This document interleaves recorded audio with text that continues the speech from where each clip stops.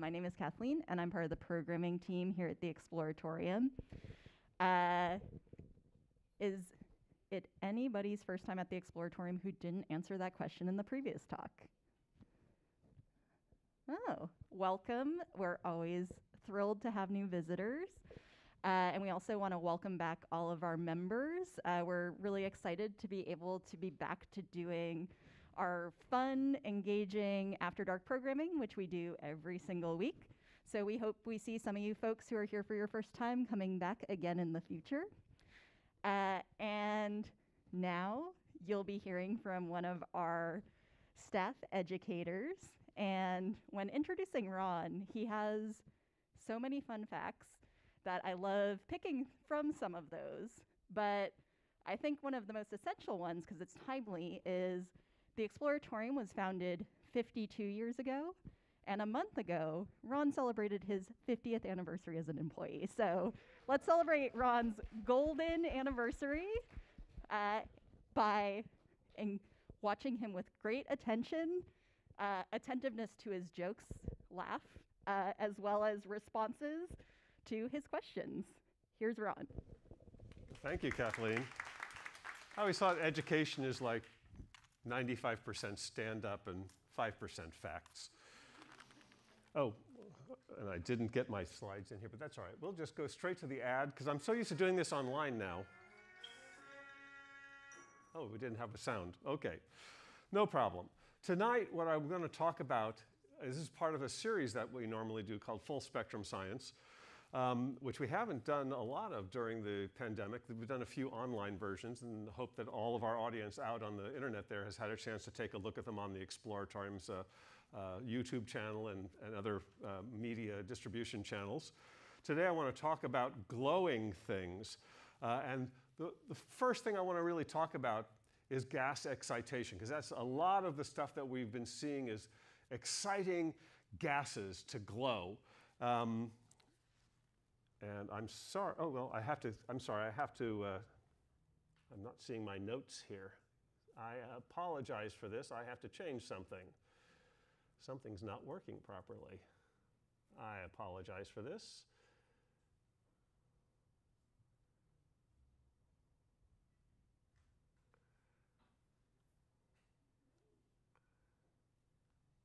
Oh, I think I'm going to have to do it without it. Let's see.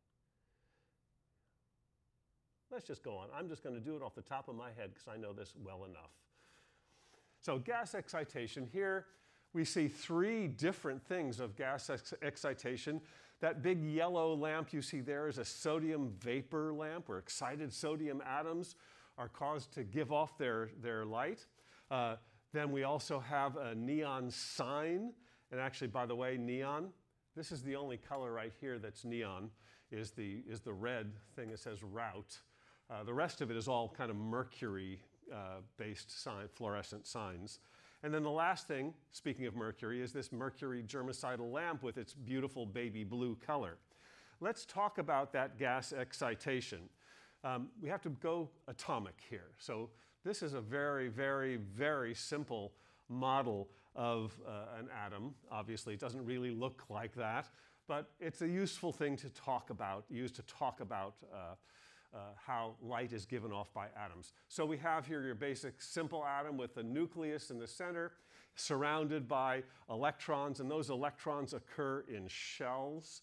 And those shells, where those shells are at, are the energy levels are determined by quantum mechanics, and we're not going to talk about quantum mechanics tonight, but suffice it to say that these energy levels are defined by quantum mechanics. And the electrons can only exist in those shells. Um, it's like walking up a set of stairs. You can't, you, can ha you have to stick to the stairs. You can't go up one and a half stairs. You can't exist between stairs. Same, similarly, in an atom, the electrons can only exist at these specific energy levels. And there's a difference in energy between each level with higher energy uh, lower energy orbits in closer to the nucleus and higher energy orbits further out. So how does this happen?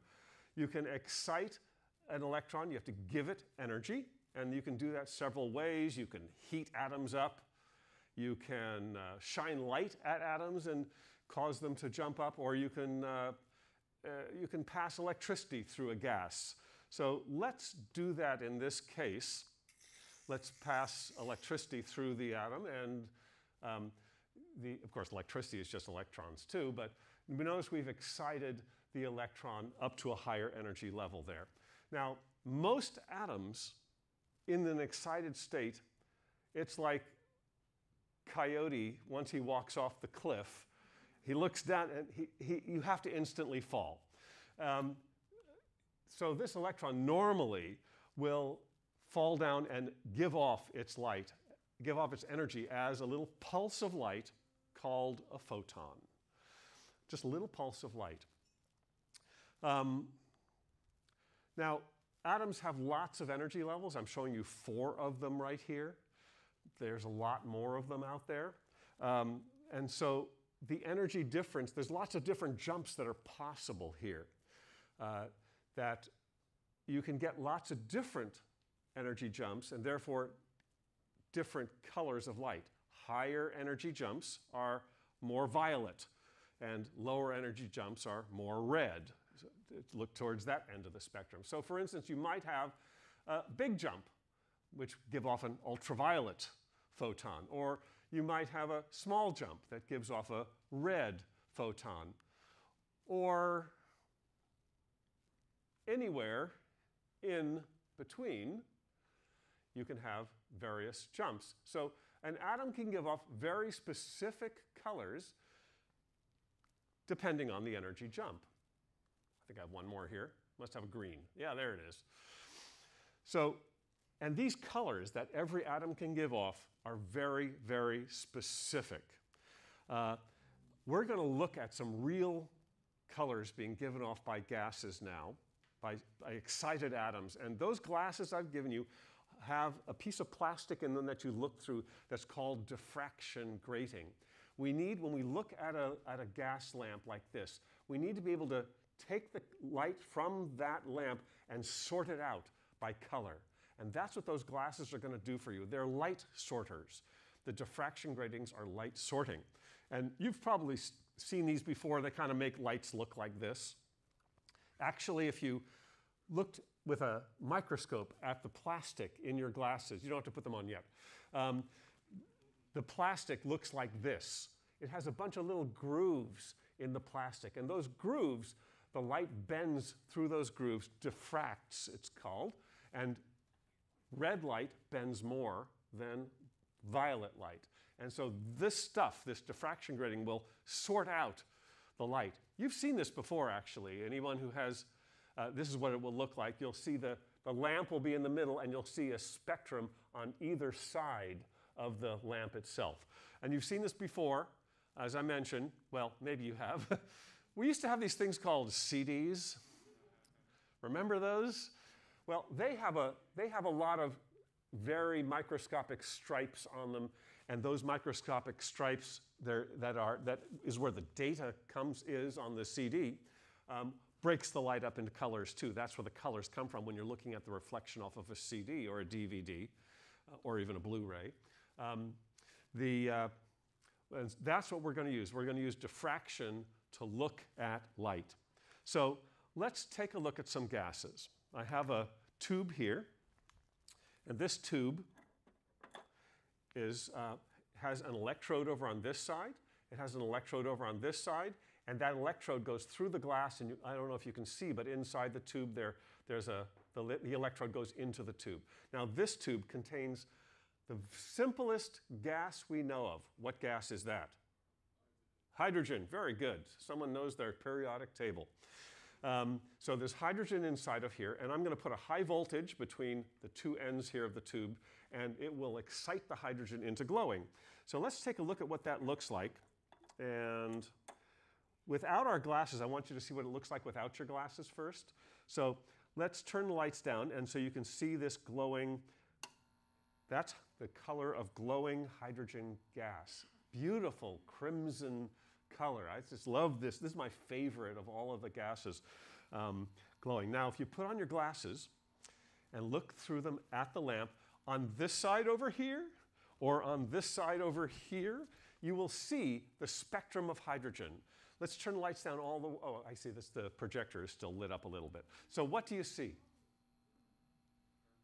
You see red, kind of a turquoise, a cyan color, and you see a really deep violet, right? So those three colors are the three colors that are given off by hydrogen in the visible part of the spectrum. There are other colors that you can't see. Hydrogen is giving off infrared colors and it's giving, well, I don't, can you say infrared colors? Yes, why not? And it's giving off ultraviolet colors or wavelengths. Um, but you can't see any of those. But this pattern is given off by hydrogen, and only hydrogen gives off this pattern. Want to see another one? Yeah. Okay. Let's see if I can do this in the dark. Oh, oh, there we go, a little bit of light. Okay, so this gas in this tube is the second most simple gas. Okay, periodic table people? Helium. Helium, yay. The only two gases made during the Big Bang. Now, helium is going to look a little different to you. Without your glasses, let's look at it without glasses. That's different, isn't it? And with glasses, it has a red, it has a cyan, it has a bright yellow, and it has uh, also a, a, uh, a violet line as well. But this is different. You wouldn't confuse hydrogen and helium if you were looking at it through your diffraction grating, because they're very distinct. Want to see another one? Okay.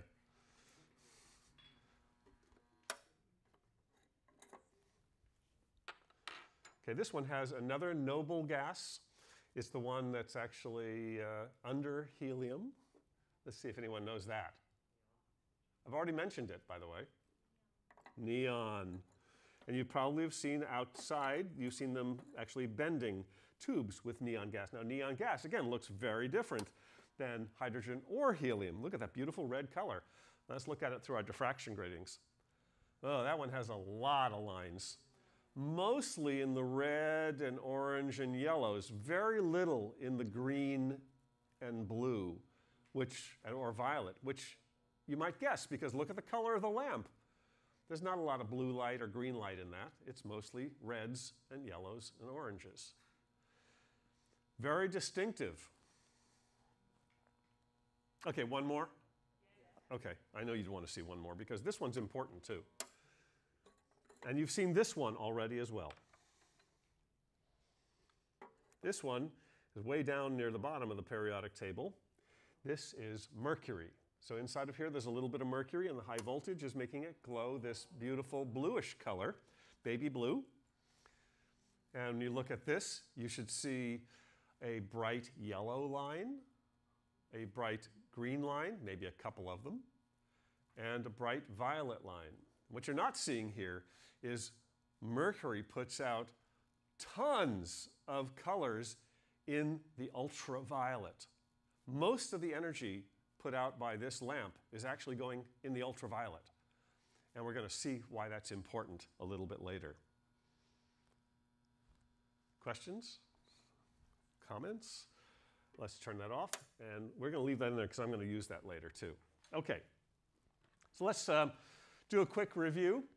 Here are the four gases that we just saw. These are actually pictures I took through diffraction grating so we can compare the colors. And you can see that the hydrogen makes this red, the cyan, and the violet, and uh, helium makes almost the same colors, but if, with a few extra, and especially this yellow, by the way. We'll talk about that in a moment.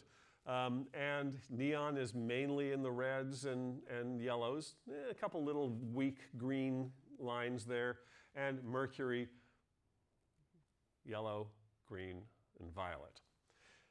They're distinct with, from each other. You can use your diffraction gratings. If you can make an element glow, you can do chemistry without even having the element there. You just have to look at the light coming from the glowing element. This is going to be important. For instance, we can't go out 1,500 light years from the Earth and collect a bottle of gas from the Orion Nebula. But we can look at its light. And by looking at its light, we would be able to tell that the Orion Nebula is glowing from hydrogen gas and a little bit of helium too. By looking at the Doppler shift of those colors, having them move one way and the other because of the motion of the object itself, of a star. Here's a star giving off light. And when it's moving towards this side of the screen, the waves are compressed. When it's moving away from this side of the screen, the waves are stretched out, are redder. This is bluer and redder. You can tell the motion of stars and the rotation of stars by looking at their light, uh, by looking at the glowing light of these stars. Uh, that's how you might detect the, the presence of a dark exoplanet, for instance. It's pushing and pulling on the star. Um, by looking at the light of this star, we could tell that this star was actually a, a supernova that exploded in 1054 AD. The Chinese saw it, wrote it down, documented it. Um, this is called the Crab Nebula. And in the middle of that, there's a little pulsar, the very first pulsar discovered. You can also tell something about the magnetism by looking at the light, how much magnetism and what direction it's pointing. Um, here's the Whirlpool galaxy. And um, this is a visualization showing the magnetic field in the uh, Whirlpool galaxy just by looking at the light coming from it. It's like sprinkling, uh, sprinkling iron filings across a whole galaxy. You can see which way the magnetic field is pointing just by looking at the light. So by looking at all this glow coming from space, you can get a lot of information. Here's the uh, Horsehead Nebula. I wonder why it's called the Horsehead Nebula. Um, this is a dark nebula. And by looking at infrared light coming from these dark nebulas, this is in front of this glowing gas right here. Um, you can tell a lot about the substance there as well, that this is a colder substance.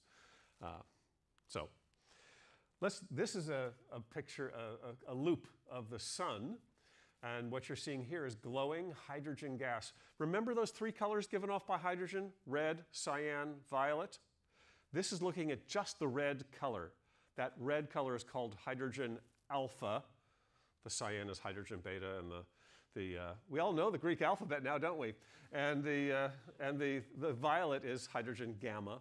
But this is just the red color. And the, just looking in that color, you can see these prominences on the edge of the sun without having to look at it during a total solar eclipse. Um, by the way, that's the size of the Earth compared to the size of the sun. So we don't want to be close to the sun for many reasons, actually. But this is, again, just an example of gas excitation. This should be the color of the hydrogen tube you saw, but we're only looking at the red color, remember. Here, you're seeing during, this is a photo I took during a total solar eclipse. And look at the prominences you can see here. That is the same color, that crimson color of the total of the hydrogen gas you saw glowing here. That's when I first saw that my first total solar eclipse. It was like, wow, that color. And I went, oh, that color. I, now I know what that is. That's hydrogen gas. There must be hydrogen gas in the sun. By the way, it, the sun is mostly hydrogen, but there's also helium there. If you, uh, here's a, a, very detailed uh, slide of the spectrum of the sun um, from red all the way through violet. It's so, it's so detailed they had to put it in strips and pile them on top of each other. And each one of these dark lines is an element in the outer atmosphere of the sun that's cooler and absorbing the same color light from the hot part of the sun that's giving off just white light. So this is called an absorption spectrum. You were seeing an emission spectrum from the lamps here, but it's the same idea. Um, elements absorb the same colors that they emit. And you can see here there's magnesium and chromium and iron and barium and titanium. I'm just reading some of the chemical symbols here. That, uh, I've, only, I've only labeled a few of the lines too. Most of those lines are because of iron, but uh, it's a beautiful um, spectrum of the sun. If you take your glasses and put them over your camera lens, you can take pictures of the spectra of things. And if you do that during a total solar eclipse, just as the last bit of the atmosphere is disappearing there, you see this, and these are all because of chemical elements glowing in the outer atmosphere of the sun. We've seen some of these before. Actually, we've seen most of them before. Hydrogen, the red hydrogen alpha. Helium, this yellow color is helium. Um, some uh, greenish magnesium, hydrogen again here, and hydrogen again here. Um, and by the way, helium was discovered on the sun before it was discovered on the earth. We didn't even know about helium until it was discovered on the sun. It's not part of our atmosphere. Um, our atmosphere, uh, helium atoms move too fast and they, they're moving faster than escape velocity from the Earth. So they bumble their way up to the top of the atmosphere and disappear into, into the solar system. If you ever want to launch a spacecraft, just pop a helium balloon. Billions and trillions of spacecraft that you're launching. I'm against helium balloons, by the way, because helium is not part of our atmosphere. It is a non renewable resource. It has to be mined, it comes from underground. Um, and I don't, by mining, I don't mean that these, uh, you know, you get these big burly guys with hats with the lamps on them. They go down the elevator during the day, and at the end of the day, they come up with high squeaky voices. Um, no, it comes from the uh, gas and oil extraction. So it's a byproduct of uh, gas extraction. So it's a, uh, it's a non-renewable resource. And I would rather not use it in balloons and have it available for MRI machines and things like that. Um, so I, I would, we should be using hydrogen in balloons. Let's face it. Not only does it, is it better, has better lift, but the explosive properties make it a much more interesting prospect. Uh, helium was actually named after Helios, the sun god, uh, because it was discovered on the sun. If you put a uh, salts in a flame, the flame will glow with the color the spectrum of that particular element. So here we have uh, sodium, and uh, here I believe this is probably copper. This is probably strontium, and this is lithium. And you get, I think this may be calcium. Different elements, again, give off different colors. And you can do it in a flame. Chemist, if you, any chemists here, you know about this is called a flame test. You just look at the spectrum of the flame. This was a, an art piece I can take my mask off. This is an art piece that was made by uh, one of our artists, Earl Sterling, where he had gas, propane gas, coming up through a, a sand, and um, he sprinkled different chemical salts in the sand, and uh, it made the colors uh, just beautiful. So that was just a nice sculpture I thought I'd show there, throw in there too.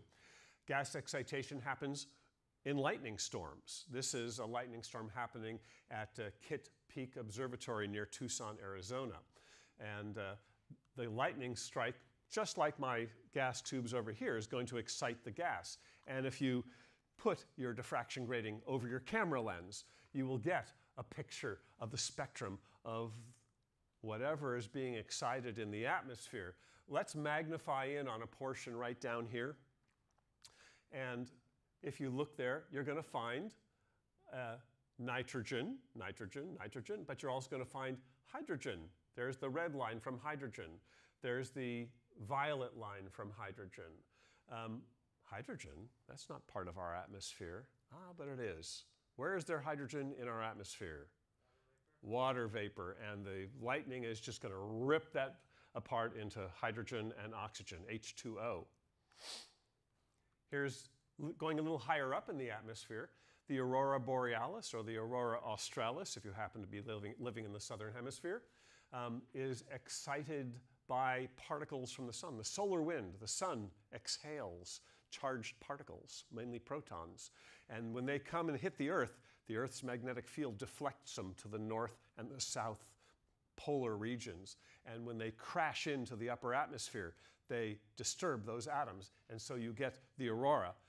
We can view them from above now. It's really cool. Here's a time lapse movie from the International Space Station. And so, since it's time lapse, you can also see the motion of aurora. Aurora are not stable, they move around. They're, they kind of look like curtains that are, that are uh, flapping in the breeze. Beautiful. And you see the, reds, the red up here and the green below. It's just incredible. Makes me want to go on the space station, except for the whole weightless and throwing up part. And if you take the spectrum of the aurora, you'll find that our, our atmosphere contains nitrogen, which is responsible for that reddish color, pinkish color, and oxygen, which is the greenish color. Um, again, a very useful tool. So I want to now talk about a different way. When I was talking about the um, gas in these tubes, this gas is almost at a vacuum. The atoms are far apart. It's like having two bells that are far apart, and when you ring them, they can ring in nice, clear tones. But if I bring the bells closer together, if I compress the gas in the tube, and I make it maybe into a solid even, so that the atoms are right next to each other, the bells do not ring very purely anymore. As a matter of fact, in a solid, the bells are more like this. And what you get is all of those energy levels interfering with each other. You don't get nice, clean colors. You get this, which is, what do we call that kind of noise? White noise. Yeah. In this filament right here, in this, this is a, this is a, these are called incandescent lamps, which we're not allowed to have anymore. Um, there's a solid tungsten filament running up the tube here. And if I put electricity through it, it will cause the tungsten filament to glow brightly. But is it going to give off a tungsten spectrum? No, because the atoms are all close together and the energy levels are interfering with each other. It gives off white light. Check that out through your diffraction gratings.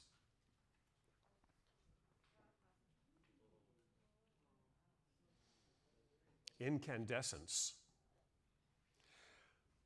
That's sort of what you're seeing here. If we look here, the sun, the inner layers of the sun, the, the photosphere is compressed gas. It's gas that's close to each other. So the surface of the sun, the visible surface of the sun, gives off white light. Let's not ignore the sunspot there. It gives off white light. Um, that white light goes through the outer atmosphere of the sun where it gets those dark lines absorbed. Um, and, uh, but this part is what, that part, by the way, that outer atmosphere is called the chromosphere for color. Um, a solid filament in a light bulb. This is a carbon arc lamp, gives off a bright white light because the carbon is going into the arc right here and the carbon's getting heated up to incandescence, just like this filament is. And that bright, uh, hot carbon is responsible for the carbon arc lamp, as it is also for a candle flame. At the bottom of the candle flame, the carbon isn't very hot yet, but in the middle of the candle flame, the carbon is getting very hot. And if you hold a, a spoon above a candle flame, it'll collect the carbon black. You can see that. You can try that at home. So I was, oh, I now I'm going to do that experiment. Well, let's just move right on then. Um, let's talk now about real glowy stuff, fluorescence. Uh, you may have seen in a museum display, like at the California Academy of Sciences. I don't know if they have the glowing minerals anymore, but they used to have this beautiful display of glowing minerals. They have a really beautiful mineral collection at the Cal Academy. I encourage you to go and check it out. Fluorescence is a whole new phenomenon. Where else would you have seen it? If you go down and look in the gallery three, scorpions. If you've ever been out in the desert at night and you take your, your ultraviolet flashlight with you, you can prospect for scorpions because they glow this beautiful green color. And you can go down in the uh, uh, in gallery three and check that out. Uh, if you're a survivor of the 60s, you probably remember all those amazing blacklight posters that you could purchase in the Haight Ashbury. Um, well, I think we need to talk about fluorescence. So we need to, of course, get atomic again. Um, in fluorescence, it's not just an excitation and de-excitation, it's an excitation by a high energy photon, ultraviolet. When that happens, when we have an incoming ultraviolet photon, it can excite the atom so that the electron jumps up several levels. When it de-excites, it can go back not by giving off ultraviolet and jumping down two levels, but it can jump down just one level. And that might give you uh, infrared photon. And when it jumps down the second level, it gives off maybe a green photon. Um, and that means that we've changed ultraviolet light into green light. We've changed invisible light into visible light. That's fluorescence. Uh, you may be familiar with that on your television. Your television has a screen and the, uh, on the, that has fluorescent phosphors on it. Let's just, let's cut the, anyone remember, remember when televisions looked like this? I even added the, the rabbit ears here for you. Um, that screen, this tube, this uh, cathode ray tube, if we slice it in half, looks like this. An electron beam starts off here at the electron gun. It's deflected by these coils and can scan across the, the face of the tube. And on the face of the tube, there are phosphors that will glow when they're excited by being hit by the electron. And these phosphors are arranged in, there's usually red, green, and blue phosphors, and they're arranged in different ways depending on what brand of television you bought. Um, but this was, I think, Sony's arrangement, and this was basically everybody else's. Um, uh, but notice red, green, and blue, and by making the electron beam more intense or less intense, you could make the red, green, and blue spots brighter or dimmer and create any colors you wanted with red, green, and blue. Here's some phosphors that are lit by, uh, this is ultraviolet light, but on the inside of your tube, there's no real green here. I guess that's sort of green. You'd have a green phosphor, a blue phosphor, and a red phosphor. Let's actually look at some fluorescent stuff because I, have a, I have a mess of fluorescent stuff here. Let's look at, um, let me start off with the fluorescent lamp first. Everybody's familiar with fluorescent lamps, right? You have, this is a small one, but a lot of us have these uh, in our homes, in our garages, in our kitchens. Uh, this tube here is really the same as the tube that's in here. Inside this tube is mercury. And when you excite it, it glows in mercury colors. What? You said, no, that's white. Well, it's not really white. I have a tube here Here's a fluorescent tube that is half coated with the powder on the inside of the tube and half uncoated. It's, uh, you can't buy, well, I guess you can buy this, but you, you have a hard time finding this tube. Um, this powder on the inside are phosphors.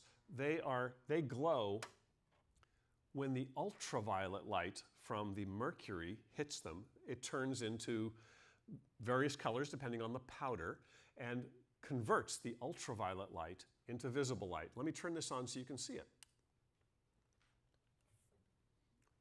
Familiar? Get it? Okay?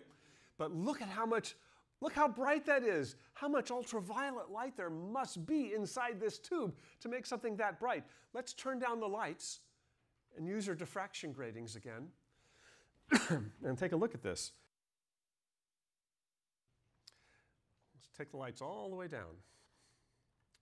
Okay, so off to the side here, you should see the mercury spectrum, the yellow, the green, the violet. On the top, you're seeing the yellow, the green, the violet, and you're seeing the, uh, the phosphors as well. Fluorescent lights are called fluorescent lights because the phosphors are fluorescent. They're really, that's the phenomenon that's going on here fluorescent lights. Now, this is just one form of fluorescent light. They all have mercury in them, so there's a little drawback. They have kind of toxic stuff in them. Of course, now you can go out and get uh, things that look like fluorescent tubes, but they really have LEDs in them. Those are not fluorescent tubes, though, technically speaking. You've seen fluorescent tubes that look like this, these compact fluorescent tubes. These were supposed to be uh, replacements for incandescent bulbs. More they are much more efficient. These use about one-fifth the energy of these for the same amount of light. But I don't have one without the, without the coating, but these, this has a different phosphor maybe than this one has. This is a warmer white. So if we look at that with our diffraction gratings, You'll notice there's more red in this spectrum than there was in the cool white fluorescent. So you can adjust it by adjusting the phosphors. You can adjust the, um, the color of the, uh, of the fluorescent light. I'm not a big fan of these compact fluorescents, I must admit. They take time to warm up. I hate that when I go into, my, into the bathroom and it, it takes like three minutes to get all the light. So I've replaced all of mine with LEDs. And there's no mercury problem with LEDs either. Okay.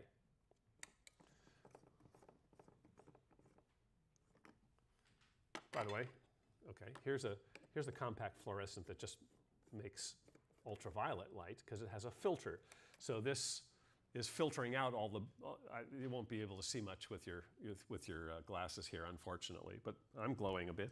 Um, as a matter of fact, uh, maybe we can get everyone glowing here. Let's turn, I have a, ultraviolet light that's up in the rafters up here, and maybe we can get Rick to, to turn that one on. We were having some problems a little earlier with that, but let's see if that, maybe that can happen.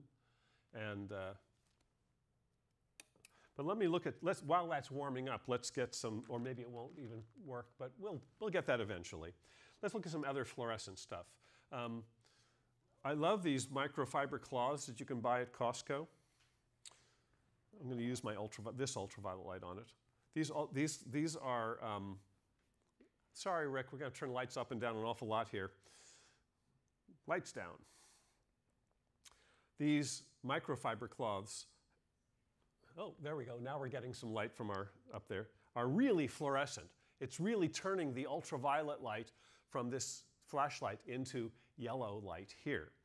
Um, you notice my t-shirt is glowing and it'll glow brighter as that thing, and so will you, by the way. Um, you'll be glowing as well. My t-shirt is glowing bright white. Why is my t bright blue? Why is my t-shirt glowing blue? Well, um, this stuff, this laundry detergent I just happen to have some all laundry detergent. Laundry detergent is chock full of fluorescent dye. And when you wash your tidy whities, you are dyeing them at the same time with this uh, fluorescent dye. So when you go outside with your your white t-shirt on, your t-shirt is not just reflecting the light from the sun, but it's taking the sun's ultraviolet light, and we know that the sun makes ultraviolet because we get sunburned, right? Um, there we go. Um, not only is it taking and, the, and reflecting the white light from the sun, but it's taking the ultraviolet light from the sun and making this bright, now some of you are glowing now too, I can see, um, are making, is making this brighter white. As a matter of fact, I'm not just white. Let's go to marketing phase here. I'm not just white, I'm whiter than white. That's how, that's why they use that slogan in mar that marketing. Okay, so um, what else is, oh, I have some beautiful fluorescent pastels here. These are, these are pastels that are, that have a, some, a lot of different color of fluorescent uh, pigments in them, of phosphors. I have, oh, okay, let me you ever gone to a club and they stamp your hand? This stuff here is the invisible ink. It's clear. If, uh, and I'm going to put a drop of it on the back of my hand here. There we go. Let, ooh, it's alcohol. It's cool. Let's turn that ultraviolet light off. Everybody's been seen glowing here. You, you've checked out your own t-shirts, hopefully. There we go. I have it on my hand here. If I use a white, I have a white flashlight right here. If I use the white flashlight, you don't see anything on my hand, okay? But if I use an ultraviolet flashlight, there it is. Um, you can see this, oh, my, the rest of my hand's glowing because I was playing with some fluorescent dyes earlier. But um, yeah, so that's how the club invisible ink stamps work. They're just fluorescent. Speaking of those, those fluorescent dyes that I was doing a little bit earlier, um, I, let's turn on the lights again. And I have here a couple of beakers of water. And this stuff right here, which kind of looks, I don't know if you can see it, it looks kind of orange. this powder. This is called fluorescein dye, and this is one of the most powerful fluorescent um, dyes that there is. I'm just going to open this up and I'm going to just dip a Q-tip in here just to get a little bit of the powder on the Q-tip. And then I'm going to mix it into this water here. So look, look, at the powder. It looks like dark brown. But watch what happens. Uh, let's, uh, let's, let's turn off the lights again, and I'll do this with the lights out with the ultraviolet flashlight. Notice the powder itself is not really fluorescent. Just that little bit of powder made this intensely fluorescent. Isn't that nice? Let's, want to try another one? I just happen to have another beaker, so yes, you want to try another one. Okay, um, let's, I think I'm to need the lights back up because uh, I can't see what I'm doing. Okay, this one here is a different fluorescent dye, and this is a biological stain called rhodamine biological stain. By the way, this one is going to, well, it's going to make it like magenta. But if you looked at the powder, if you come up after and look at the powder, the powder's green. For some reason, they seem to be like the complements of what they, what they actually look like when you have them in solution. Okay, here we go. Let's try this one here. Get a little bit of rhodamine on that Q-tip. And get my light out. Okay, here we go. Here's the rhodamine. Ooh, the proper, the proper is ooh and ah, by the way. Yeah, it's the same. It's the same. Pro, it's the same protocol as fireworks. ooh and ah.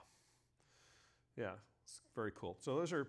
That's a biological stain, which is why my hand is now all stained up with it because I was mix, playing with it a little bit earlier. Okay, so that's a, another nice fluorescent. Things that you know about that are fluorescent. Oh, if you dissolve uh, turmeric in alcohol. It doesn't dissolve in water very well, but if you, if you dissolve, I don't have any alcohol up here, but if you dissolve turmeric in alcohol, it looks like fluorescein. Um, let me just put the top back on the rhodamine so I don't make a mistake. There we go. And this piece of plastic has uh, fluorescent dye in it, and this is actually used to detect radioactive uh, particles. When gamma rays pass through this plastic, they make a little flash of, it makes a little flash of light. It's called a scintillator.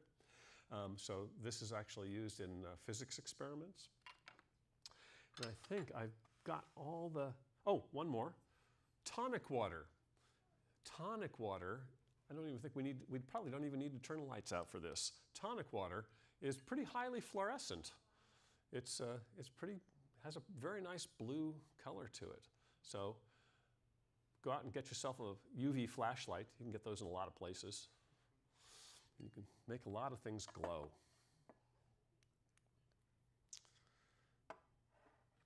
Okay. Remember these things? We're going to talk about something that's kind of related to fluorescence, but as a kid, maybe even as an adult, in your bedroom, you may have stuck these glow in the dark stars on the ceiling. Um, uh, and when, you, when it was time for lights out, well, lights went out sort of, but some things didn't go out. This is a different phenomenon, not fluorescence. This is called phosphorescence. And of course, the energy would dissipate eventually. The stars would get a little bit dimmer over time. But phosphorescence was the ability to hold on to the energy given to it by the light uh, from your room and then give it off slowly, phosphorescence. Because phosphorus was the thing, the element that actually uh, uh, had this quality, so that's how it got its name, phosphorescence. So how does that work? Remember, you can go see it here, by the way. Remember, the, any, I don't know if people who have their first visit here, the shadow box is a, uh, a room with walls that are painted with this phosphorescent material. And a camera strobe is set off, and that causes the, the, the, the, material to glow. But if you happen to be standing in front of it at the time, well, here, I just did a video today. Here's one of our explainers. your shadow gets stuck to the wall because it wasn't exposed. It never, it didn't start glowing. And so, sort of Peter Panish, isn't it? Um, get separated from your shadow. Um, this phosphorescent glow, let's talk about how that happens, but we got to get atomic again. In phosphorescence, you can excite the atom again with maybe an ultraviolet photon, and it jumps up a few levels. Um, but it gets stuck there. Quantum mechanics allows it to get stuck. It's not allowed. This atom, it's, it's the coyote is hanging there over the, over the Grand Canyon, but it's not, he's not allowed to fall down. Quantum mechanics says no. It takes something to disturb this atom. It's sort of like if you had a hill. Normal, this would be a normal atom. If you dropped a ball on top of that hill, it would roll down immediately. It can't stay up excited, you can't, high energy state. If you had a hill that looked like this, however, and you dropped a ball on top of that, there's no way for that ball to roll down the hill. It has to be disturbed somehow, and then it will roll down the hill. Same thing in phosphorescence. That disturbance can be another atom bumping into it, heat, or uh, light shining on, or something. But eventually, uh, that atom will get bumped into, and it might then give off some energy, maybe a red photon, but it can jump down again so that it would give off then maybe a green. So phosphorescence hangs on to its energy. It's kind of greedy and hangs on to its energy unless it's disturbed into giving up that energy. Um, let's, I'll show you some phosphorescent stuff.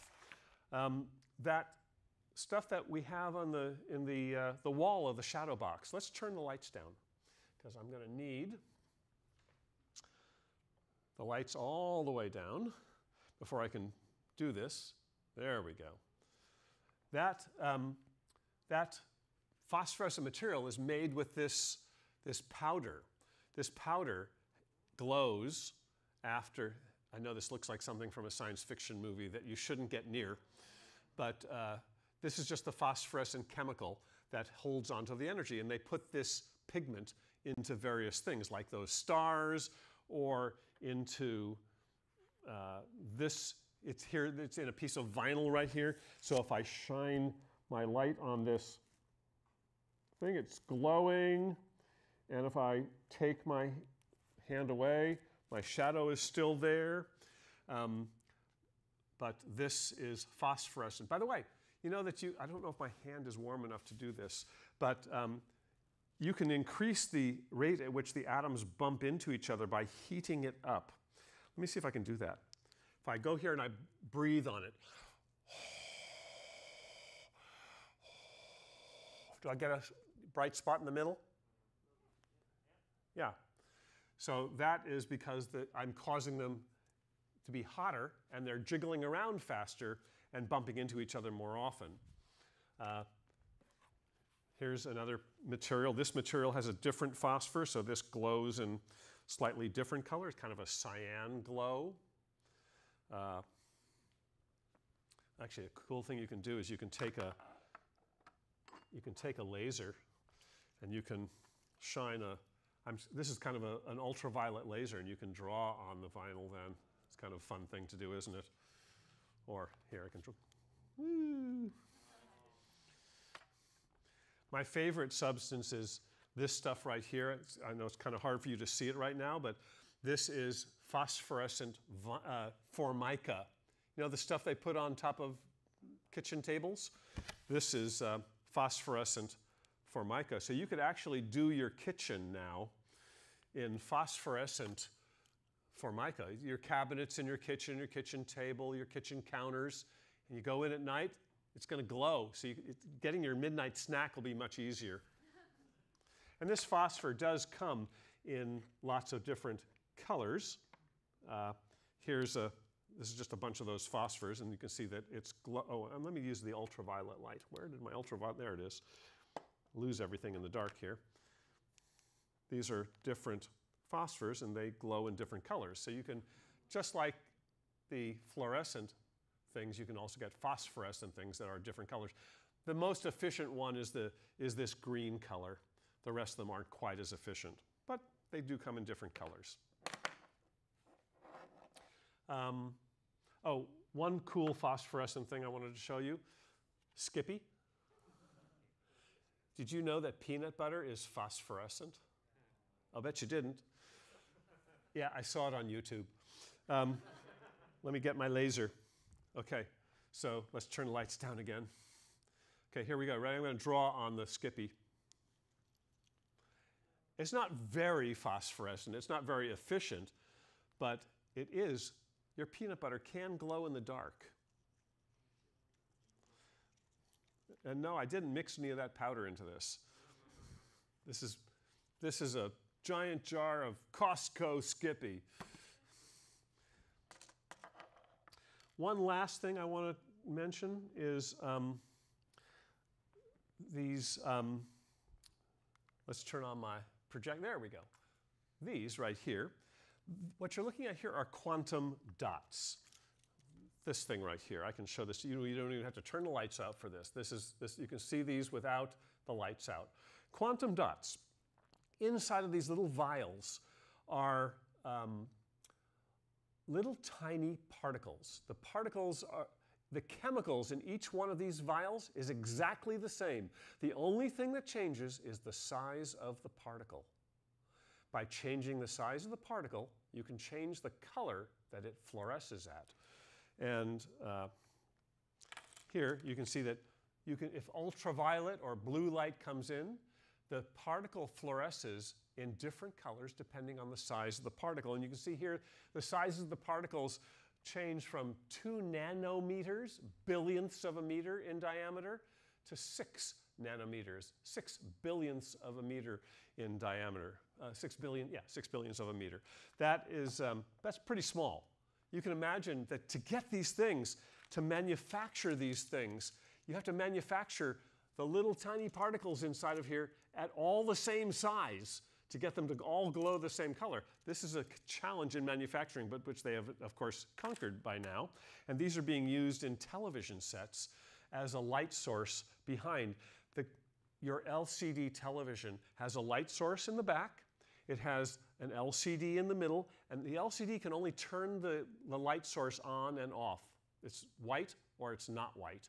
And then in front of that, in front of those dots, they put colored filters, red, green, and blue colored filters. So they can turn on and off red, green, and blue things. But the, if you could make the source of light behind match the red, green, and blue colors of the filters, which you can do by using quantum dots, you can make your TV much more efficient and you get much more color range and saturation of colors. So these quantum dot TVs, which are being made by lots of different manufacturers. This specific one is Samsung, uh, and I'm not advertising Samsung televisions, but they do make a qu quantum dot television.